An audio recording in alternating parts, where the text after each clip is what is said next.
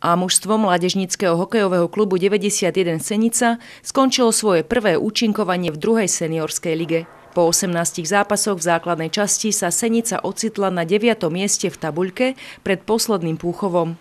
O zhodnotenie sezóny sme na jednom z posledných tréningov požiadali trénera Joška Kryšáka. Ja by som ho hodnotil veľmi pozitívne z dôvodu toho, že v podstate sme sa zišli len e, dva týždne pred súťažou, čiže nejaká koncepcia práce nebola nachystaná žiadna, či sa to tak zbuchalo, dá sa povedať, za 5 minút 12. Bolo to dobre tým, že chlapci mali snahu sa vrátiť naspäť k hokeju, ktorí kedy si hrávali hokej, čiže už niečo hokejové vedeli, len neboli 3-4 roky na lade, nehrali zápas, vypadli z toho, takže to bolo ťažké. Z začiatku sa nám, nám to trvalo dlhšie, kým sa chlapci vôbec dostali do toho, že čo to vlastne ten zápas obnášal, lebo vypadli z toho. Ale pri ich veľkej chuti, ktorú mali, čo som obdivoval na nich, tak sa nám to podarilo dať dokopy.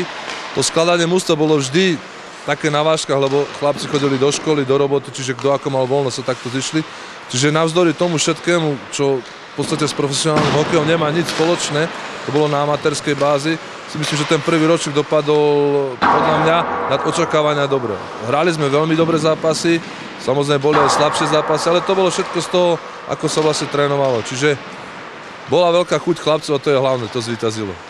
Senica ako nováčik v druhej lige bol ostatným súperom takmer rovnocenným partnerom. Vysoké prehry zaznamenali len s lídrom tabuľky Dubnicou nad Váhom a na Nitry. Ostatným ústavami zahrali vyrovnanú partiu, tam rozhodovali maličkosti. A práve tie maličkosti nám chýbali v tom, že proste chalani 3-4 roky niektorí nehrali hokej.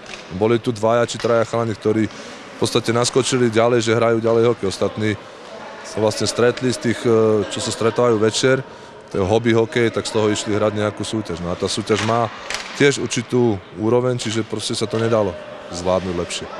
Po jarnej prestávke chce A tým HK91 Senica pokračovať v podobnej koncepcii založenej na amatérskom týme, len sa chcú lepšie zohrať. S prípravou by chceli začať už v lete.